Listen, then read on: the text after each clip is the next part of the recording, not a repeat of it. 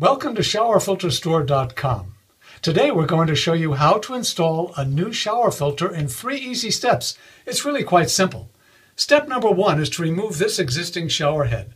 Now this is the opportunity where you may need to use a pliers or a channel locks if your existing shower head is on very tight.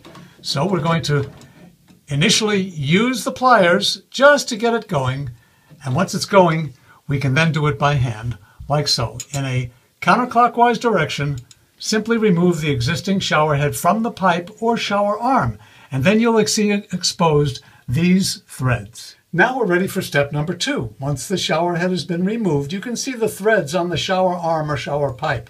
Now sometimes these have particles on them, sand or grit, and what you want to do is to take a cloth and just wipe it clean. Make sure you have a clean surface before applying the Teflon tape. Then you'll take your Teflon tape, which helps prevent any leakage once the shower filter has been installed, and place it on the threads of the pipe, like so, and you start to wrap it around. I would do this about five or six times, like that.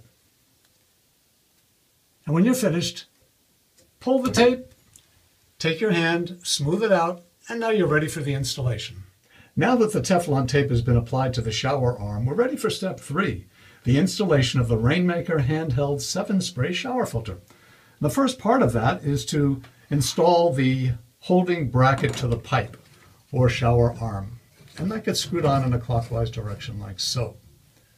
Once that's in place, you see this threaded portion? That's the part that gets attached to the hose, which comes next. And I want to show you something about the hose. The part of the hose that has six sides to it, this is the part that gets attached here. And inside you can see a black washer. This is really important. This washer has to be in place to prevent any possible leakage.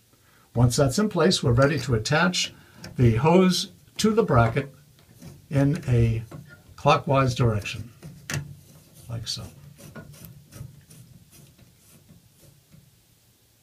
And now we're ready for the final phase, to attach the other end of the hose to the shower filter itself. The other end of the hose, as you can see, is cylindrical, a cone shape. It gets attached to the wand by placing it up to the threaded portion of the wand and then screwing it again in a counterclockwise direction, nice and tight. And then the unit gets placed in the holder where it sits.